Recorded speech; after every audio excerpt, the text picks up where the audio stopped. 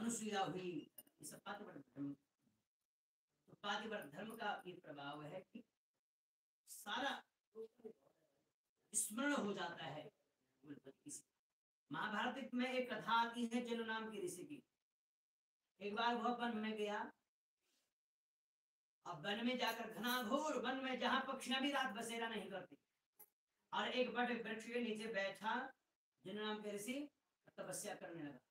इतनी तपस्या करी कि शरीर में दीमक लग गया। अब आप लगा लगा सकते हो कि कितनी तपस्या करोगे शरीर में दीमक लग गया। बालू में, जटाओं में घोंसले बना दिए पक्षियों ने। केवल आंखी को दुनिया खुली है। उस घनाघोर वन में जहाँ महाराज पक्षा भी बसेरा नहीं करती, एक दिन उस बड़ वृक्ष की डाल पर एक महाराज बगुला आया। बगुला बैठा और विष्टा का त्याग किया, मलमूत्र का त्याग किया। वो जा करके जन नाम के ऋषि के शरीर में गिर ने तो खुले हैं, देखा। तो बड़ा भयानक क्रोध आया। महाभारत में कथा है। बड़ा क्रोध आया। इतना क्रोध कि अपने अंगारे बरसाती हुई नेत्रों से उस बगुले की तरफ़ देखा। जो ही ताका उसकी तरफ़ वो जल करके राख ये लगा सकते कितनी शक्ति प्राप्त हो गई जिसकी तरफ़ ताके वही जल के राख अब अहंकार व्यक्ति को किसी रूप में आ सकता है। ज्ञान का अहंकार हो सकता है, बल का अहंकार हो सकता है तब का अहंकार हो सकता है, कहीं भी नहीं छोड़ सकता है पद का ज़रूर अहंकार होता है अब अहंकार हो? गया हो शक्ति मुझे प्राप्त मैं जिसकी तरफ़ देखूँ, वो जल करके राख हो जाए। देखता हूँ मेरे सामना कौन करता है। अब घना घोर वन छोड़ करके अब परीक्षा लेने के लिए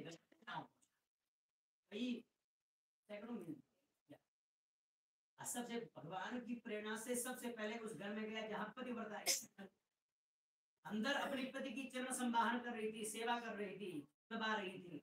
उस समय वो जन नाम के ऋषि दरवाजे में भिक्षाम दे अंदर से आवाज़ दी, प्रत्युत्तर किया उस माँ ने कि संत महात्मा, कुछ देर बैठो, मैं अभी पति की सेवा में लगी हूँ। अब इसको तो अहंकार है, ये तो परीक्षा लेने के लिए आया। तैस में आकर बोले, झूठ, तू मुझे नहीं पहचानती, मैं कौन हूँ? तो अंदर से वो सेवा करती हुई पत्नी बोली कि, हे संत महात्मा, यहाँ कोई बगुला नहीं है कि जो जल करके राख हो बगुला तो घना घोर जंगल में जला करके आया, लेकिन घर बैठे उस पतिव्रता स्त्री को पता है कि ये मेरी परीक्षा लेने के लिए आया है। देखा, यह बगुला नहीं कि जो जल करके राख हो बुद्धि ठिकाने आ गई। हो मेरे से बड़े कोई तपस्या तपस्वी है या अंदर प्रतीक्षा करी। जब पति की सेवा करके आई तो तुरंत चरणों में गिरा। चिन्ह नाम के से उसने भगवान, चरणों में गिरना तो हमें चाहिए। आप हमारे हमसे ऊँची सीढ़ी के काम हमें करना चाहिए। नहीं देवी, आप ये बताओ, आप कोई मैं तो बगुला तो घनाघोर वन में जला करके आपको कैसे पता? बोले, भगवान, मैं एक पतिव्रता स्त्री को मैं कभी स्वप्न में भी पर पुरुष का स्मरण नहीं किया है, इसलिए मुझे ये शक्ति प्राप्त है। तो ये पातिव्रत धर्म का प्रभाव इसी प्रकार की इसी पत्नी थी पातिव्रत धर्म में अग्रगण्य। लेकिन ग्रस्त जीवन बड़ा नीरस क्योंकि संतान नहीं थी। एक दिन ये राजा अपनी पत्नी को लेकर के अब भद्रशीला नदी, तेरे सत्य व्रतम आचरण भद्रशीला नदी के तट पर भद्रमणि होता है, कल्याण। शीलमणि होता है आचरण। जिसके तट पर जाने से ही जीव का कल्याण हो जाए तो कहते हैं भद्र वहाँ पर गया संतान गोपाल पूजा पाठ करने लगा। संतान गोपाल जब करने लगा, उस समय एक साधु वणिक आया, नाव से परिपूर्ण, धन से परिपूर्ण नाव को लेकर के भद्रशिला नदी के तट पर खड़ी किया और राजा के पास गया। राजा के पास जाकर प्रणाम किया। प्रणाम करने के बाद पूछा, हे भगवान किमदम कुरु कुरु से राजन? भक्त युक्तेन चेतसा।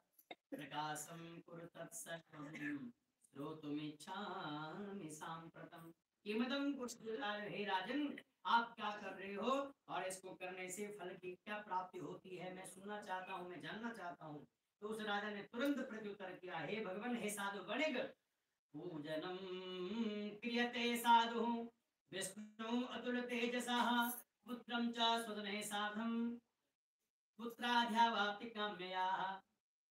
हे साधु गणिक मेरे पास सब कुछ है, अन्न है, धन है, राज है कोठी बंगला सब है। लेकिन भूख करने वाला नहीं, संतान। अब मैं संतान की प्राप्ति के लिए इस व्रत को कर रहा हूँ।